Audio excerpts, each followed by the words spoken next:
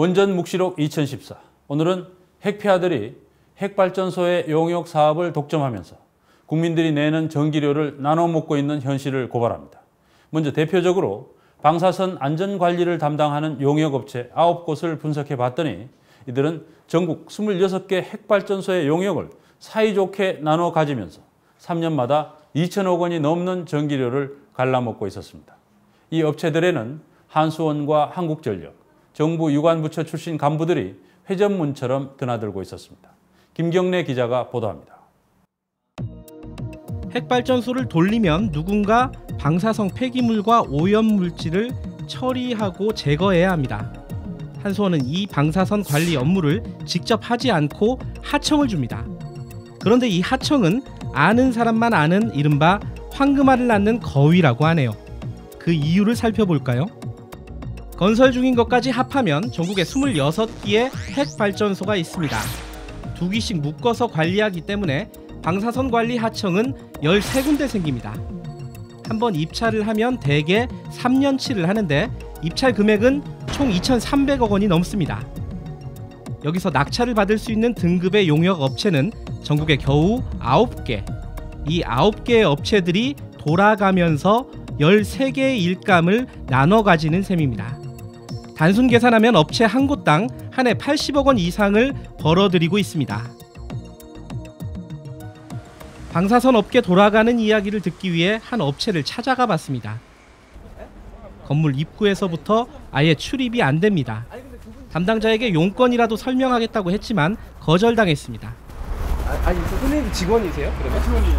아 거기 원자력이요? 이제 그걸 좀 묻지 마시고 저는 저희들이 뭐 좀 궁금한 아, 게 그러니까 있어서 아니 왔는데 그러니까 이제 그냥 가시라고요. 사람이 취안 한다는데 왜 자꾸 할 수 없이 간판도 없는 건물이라도 한컷 찍어가려고 했더니 위협적인 언사가 나옵니다. 아니, 아니 남의 건물 왜 찍어요? 아이 건물이 그러면 아니, 나 남의 원자력 건물 아 모른다고요. 아 모른다고요. 아 몰라요. 모르니까 마세요. 아니 찍지 말라고 했습니다. 찍지 말라고 했습니다. 아니 관리팀장님이세요? 직접 설명을 듣는 건 불가능한 것 같네요.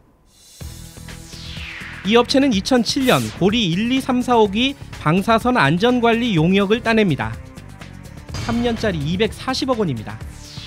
2010년에는 월성 3, 4, 5기 80억 원, 같은 해 고리 1, 2, 5기 120억 원, 그 다음에 울진 5, 6, 호기 130억 원, 그 다음에 신고리 3, 4, 5기 100억 원, 그 다음에 영광 1, 2, 5기 140억 원, 2007년부터 2015년까지 한 번도 쉬지 않고 전국의 발전소를 돌아가면서 일을 따냈습니다. 총 금액이 무려 810억 원. 중소기업청에 따르면 이 회사 2013년 매출액이 150억 원 정도인데 그 중에 핵발전소 방사선 용역으로만 120억 원을 벌어들였다는 계산이 나옵니다. 다른 업체들도 마찬가지입니다. 9개 업체가 13개 구역을 돌아가면서 주거니 받거니 해마다 한수원으로부터 수주를 하는 구조입니다. 이런 방식의 마피아 구조는 2004년 이래 고착화됐습니다. 실제 계약 현황은 유스타파 홈페이지에서 확인하실 수 있습니다. 우리나라의 방사선 관리 용역 실적으로 쓸 수 있는 게 동일 용역 실적, 유사 용역 실적이 있는데 그러니까 동일 용역은 발전소니까 당연히 이 업체들이 계속 하던 업체니까 동일 용역 실적을 가지고 있고 또 하나는 이제 유사 용역 실적을 있으면 점수가 좀 되는데 유사 용역은 한 또 네 군데밖에 없다 보니까 국내에 그거를 한 회사들이 그렇게 많지가 않아요. 15년 전인 1999년 공정거래위원회는 방사선 관리 용역업체 6곳에 대해 입찰 담합으로 과징금을 부과한 적도 있습니다. 원자력 산업계 입장에서 보면 이 시장은 굉장히 크고 또 더군다나 이미 진입한 업 계 입장에서 보면 안정적이고 별도의 어떤 경쟁이 필요 없는 사실상의 어, 그 별다른 조치를 취하지 않아도 일정한 수입을 가질 수 있는 황금알을 낳는 어떤 시장이겠죠. 그런 측면에서 보면 이 업자들이 원자력 정책을 더 강화하기 위해서 얼마나 노력을 할지 용역업체들은 3년에 한 번꼴로 발전소를 바꿔가면서 막대한 돈을 벌지만 실제로 현장에서 일하는 비정규직들은 움직이지 않습니다. 회사 간판은 3년에 한 번씩 변하지만 실제로 일하는 사람은 달라지지 않는 겁니다. 이 용역 업체들이 간판만 바꿔 걸어가면서 인력 파견으로 돈을 벌고 있다는 비판이 나오는 이유입니다. 굳이 이, 이 일을 하고 있는 사람들은 어디 안 가고 계속 근무를 하고 있는데 이걸 왜 영역을 주냐는 거죠. 책임감도 떨어지고 그다음에 비용이 적게 드냐 그것도 아니고 이 방산 안전관리 영역업체가 어, 외부에서 봤을 때는 뭐 하나의 로또로 보인다는 거죠. 눈먼 돈이 떨어진다 이거 하나 따면은 한 용역업체가 입찰에 참가하면서 한수원에 제출한 실제 용역비 산출 내역서입니다. 한 해 50억 원이 넘는 용역비 가운데 직접 인건비는 25억 원으로 절반 정도. 하지만 그 용처를 제대로 알 수 없는 재경비가 무려 15억 원이 넘습니다. 국회에서 한수원 측에 이 재경비의 내역을 요구했지만 한수원은 해당 업체들의 영업 비밀이라며 제출을 거부하고 있습니다.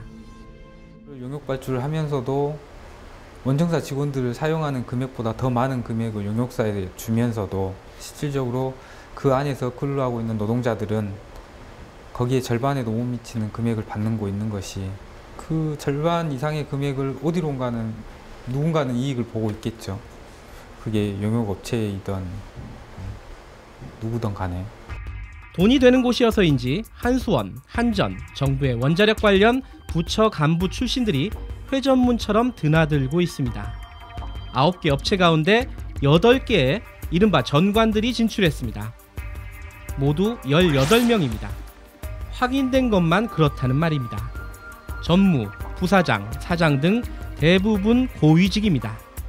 그 사람의 이제 성품, 인격, 그 다음에 이제 주위에 이제 여러 그 저기 능력, 그 사람의 이제 지식 이런 거를 판단을 해서 주주가 이제 판단을 해서 내려주는 거예요. 한수원 2직급과 뭐 이런 거 그런 건 무관한 거냐고 3직급이면 또 4직급 그 사람 그만큼 능력이 있으면 그 가서 일할 수 있, 있는 능력이 돼야만 오는 것이지.